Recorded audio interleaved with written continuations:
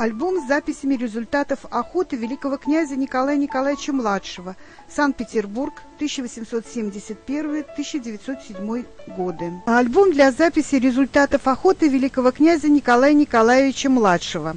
Записи в альбоме делались в течение нескольких лет. На первом листе сделаны общие записи о результатах охоты за 1871-1891 годы. Начиная с 1892 года записи велись подробные, с указанием конкретных дат. Страницы альбома разделены на графы. Сначала идет графа «Место охоты», затем время, год, месяц, число. Следующие графы очень подробно перечисляют все виды зверей и птиц, на которых можно было охотиться. Сначала крупные звери – зубр, лось, олень, тур, кабан – с подразделением каждого вида на самцов, самок и телят. Затем зайцы, отдельно русак и беляк, белка, кролик. Дальше идут хищники – медведь, волк, лисица, рысь, хорек. И, наконец, 50 граф посвящено птицам, среди них фазаны, глухари, тетерева. Отдельно выделены хищные птицы – беркуты, орланы, ястребы. Усадьба в Першине была построена еще во время императрицы Екатерины II. В 1887 году Першина под охотничью резиденцию приобрел великий князь Николай Николаевич Романов. Усадьба была перестроена, появилось много новых сооружений, в числе которых конюшни для породистых лошадей, каретный скотный двор, псарни.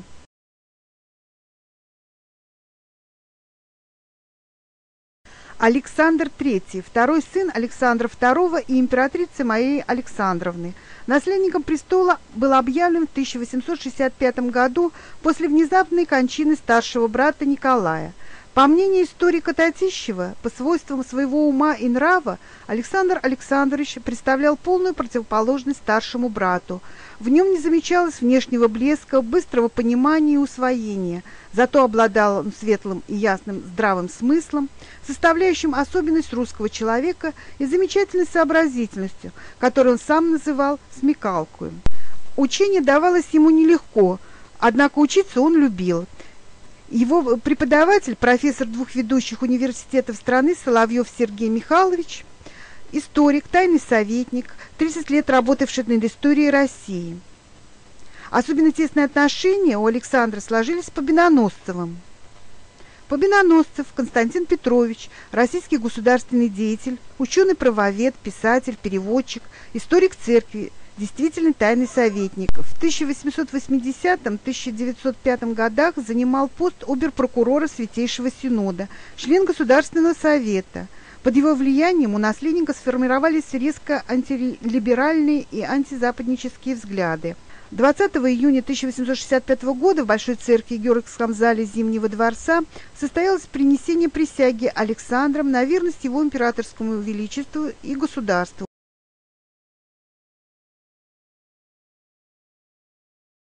Мария Федоровна, при рождении Марии София Фредерика Дагмар, императрица, супруга Александра III, мать императора Николая II.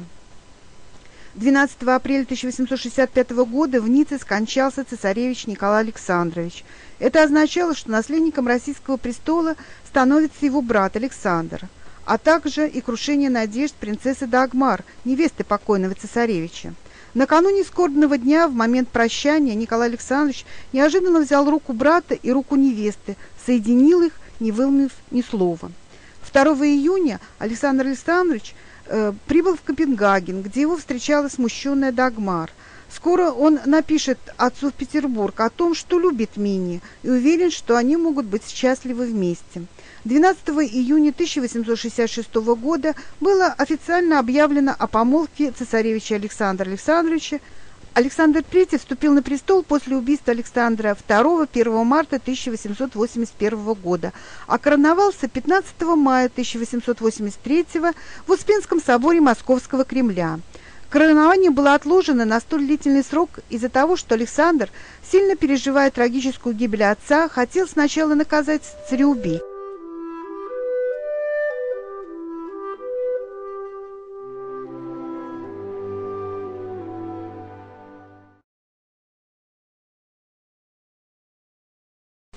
Русская либеральная интеллигенция восприняла смертный приговор первомартовцам как возврат к реакции. Толстой Лев Николаевич, писатель, религиозный мыслитель, публицист, участник обороны Севастополя, в начале царствования Александра III письменно обратился к императору с просьбой о помиловании цареубийц в духе евангельского всепрощения. 2 марта 1881 года Александр III издает манифест с перечнем намеченных им реформ – Прежде всего, это казалось борьбы с революционно-террористическими обществами. Арест Макарович Говорухин, революционер, студент Петербургского университета, был связан с группой Благоева. Участвовал в подготовке покушения на Александра III в марте 1887 года. Группа Ульянова-Шеверева. В 1887 году эмигрировал в Швейцарию. В Женеве работал в типографии группы освобождения труда. Гинзбург – Софья Михайловна, революционерка-народница. В 1888 году она предпринимает попытку восстановления партии народной воли. Однако в мае 1889 э, была арестована и особым присутствием Сената в ноябре 1890 года приговорена к смертной казни, замененной бессрочной каторгой. 1 декабря этого же года ее доставляют в Шлиссельбург, в старую тюрьму, где она, впрочем, пробыла недолго. 7 ноября 1891 года она перерезала себе шею ножницами и в тот же день скончалась. Кресты. Существующая в настоящее время тюрьма была построена в кирпичном стиле в 1884-1892 годах по проекту архитектора Томишко. Ее комплекс включал два пятиэтажных крестообразных в плане корпуса – Традиционная для того времени планировка тюремных зданий, их форма определила название тюрьмы. В ней было 960 камер, рассчитанных на 1150 человек. В одном из корпусов на верхнем этаже изначально находилась пятиглавая церковь святого Александра Невского. В крестах содержались уголовные преступники, а также политические приговоренные к одиночному заключению.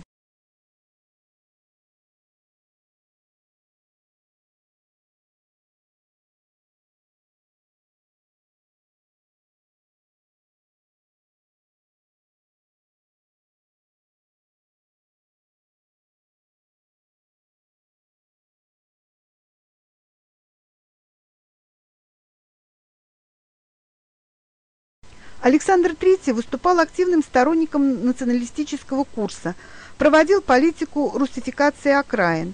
Был принят ряд мер против евреев, сокращена черта оседлости, введена процентная норма евреев в учебных заведениях.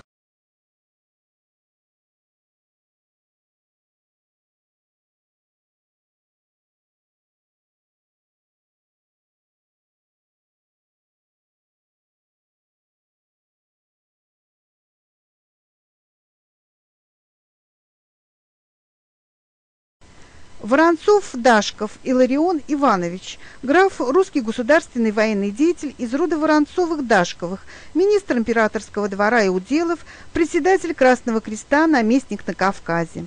Будучи личным другом Александра III, после убийства его отца организовал так называемую священную дружину.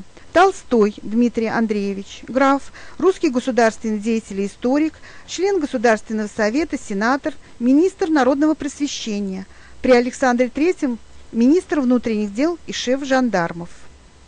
Плеве Вячеслав Константинович, российский государственный деятель, сенатор, действительный тайный советник, в 1881 году назначен исполняющим обязанностям прокурора в особом присутствии правительствующего Сената, проводил энергичные и успешные действия по разгрому террористической организации «Народная воля». В 1904 году Петербурге на Измайловском проспекте близ Варшавского вокзала был убит эсером, студентом Егором Сазоновым, бросившим бомбу в его карету. Поводом для убийства послужили еврейские погромы в Кишиневе в апреле 1903 года.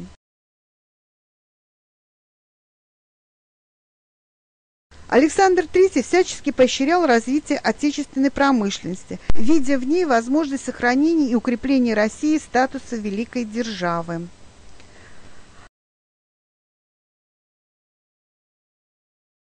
Путиловский завод был основан в апреле 1801 года как чугунолитейное предприятие, выполнявшее заказы по производству артиллерийских боеприпасов.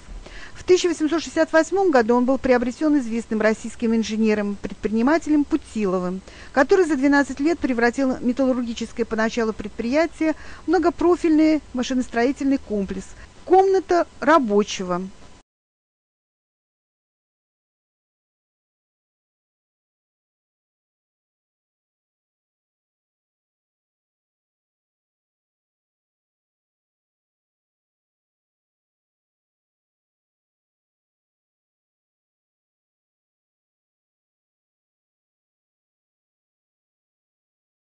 Император Александр III не очень любил жить в Зимнем дворце. Основным его местопребыванием была Гатчина. Подолгу он жил в Петергофе и Царском селе, а приезжая в Петербург, останавливался в Ванечковом дворце. Придворный этикет и церемониал при Александре стали гораздо проще. Он сильно сократил штат министров двора, уменьшил число слуг и вел строгий надзор за расходованием денег. Дорогие заграничные вина были заменены крымскими и кавказскими, а число балов ограничено четырьмя в год. Александр, или как его называли в семье, бульдожка, вел образ жизни примерного семьянина. Играл на духовых и музыкальных инструментах, интересовался живописью и русской историей, возглавлял русское историческое общество. При всей своей внешней строгости в отношении своих детей оставался любящим отцом. Он не только ни разу в жизни не тронул и пальцем детей, но и резким словом не обидел. Если же между супругами случались размолвки, то совсем незначительные, быстро заканчивавшиеся примирением. Александр III, так же как его отец, был страстным охотником. Он рано включился в эту царскую забаву. Еще мальчишкой он охотился на птицу, а юношей уже на более серьезную дичь. Двадцатилетним юношем охотился на медведей, увлекался рыбалкой. Часто летом царская семья уезжала в финские шхеры. Также при дворе Александра III сложился обычай через год проводить осень на отдыхе в Спале, что в Польше в Лавическом княжестве, и охотиться на оленей только в обществе самых близких лиц свиты и редких гостей. Спала полюбился императору, ибо он там действительно отдыхал и жил так, как он любил жить. Царская усадьба Спала расположена на открытой площадке среди старого соснового леса на берегу реки Равки. Охотничий дом, двухэтажный, деревянный, на каменном фундаменте. Очень простой и скромный. На втором этаже были расположены комнаты царской семьи, на первом комнаты для свиты и гостей – Стены дома были украшены огромными оленями рогами. Э, государь не любил активного участия дам в охоте. Исключение составляла императрица, которая была отличной и смелой наездницей. Для нее специально два раза в сезон устраивалась охота на оленя верхом с гончими на французский лад. Любым местом охоты императора была и Беловежская пуща, пристрастие которой питал еще его отец Александр II, положивший начало высочайших охот в этом благодатном крае и даже поставивший там памятник Зубру. Для императора в 1880-1890 годах там построили новый дворец. Участие в охотах принимали все члены большой императорской семьи. Великие князья Николай Александрович, Михаил Александрович, Николай Николаевич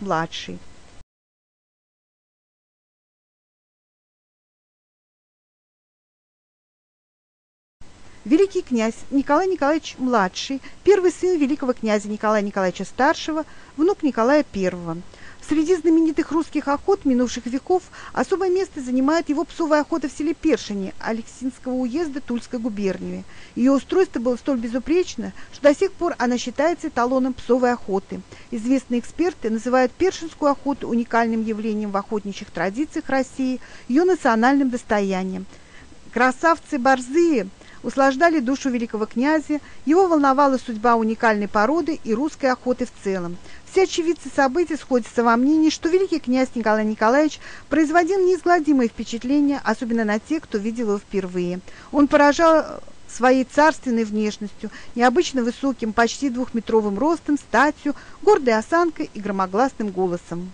17 октября 1888 года царский поезд, идущий с юга, потерпел крушение у станции Борки в 50 километрах от Харькова. Семь вагонов оказались разбитыми, были жертвы среди прислуги, но царская семья, находившаяся в вагоне столовой, осталась цела. При крушении обвалилась крыша вагона. Александр, как говорили, удерживал ее на своих плечах до тех пор, пока не прибыла помощь. Однако вскоре после этого происшествия император стал жаловаться на боли в пояснице. Профессор Труби, осмотревший Александр, пришел к выводу, что страшное сотрясение при падении положило начало болезни почек. Болезнь неуклонно развивалась, государь все чаще чувствовал себя нездоровым, цвет листа его стал землистым, пропал аппетит, плохо работало сердце. Зимой 1894 года он простудился, а в сентябре во время охоты в Беловежье почувствовал себя совсем скверно. Берлинский профессор Лейден, срочно выехавший по вызову в Россию, нашел у императора нефрит. По его настоянию Александров отправили в Крым, в Ливадию. 21 сентября 1894 года императорская семья приезжает в Ливадийский дворец. Здесь могучий богатырь, которому менее 50 лет, угасает за месяц. 20 октября 1894 года в 2 часа 15 минут пополудни, сидя в кресле, Александр III скончался. В том царская его заслуга пред Россией, что царь он верил сам в устои вековые, на коих жиждется российская земля, и громко высказал, и как с высот Кремля Иванов колокол ударит, и в мгновение все сорок сороков Христово воскресенье о светлом празднике по Руси возвестят. Так слово царское, летя из града в град, откликнулось везде народных сил подъемом, и как живительным весенним первым громом Вдруг к жизни призванный очнулся дол и лес. Воскресла духом Русь, сомнений мрак исчез, И то, что было в ней лишь чувством и преданием, Как броней закреплено сознанием.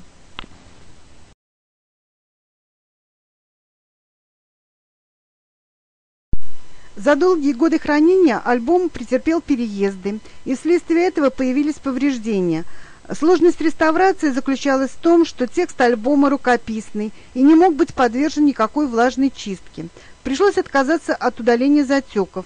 Но самым тщательным образом были удалены поверхностные загрязнения всех листов альбома, нарощены и укреплены ветхие углы, восполнены утраченные фрагменты тканевого покрытия переплетных крышек японской бумагой коза, тонированный в тон оригинала, произведена реставрация кожаного корешка, подобранного по цвету и фактуре.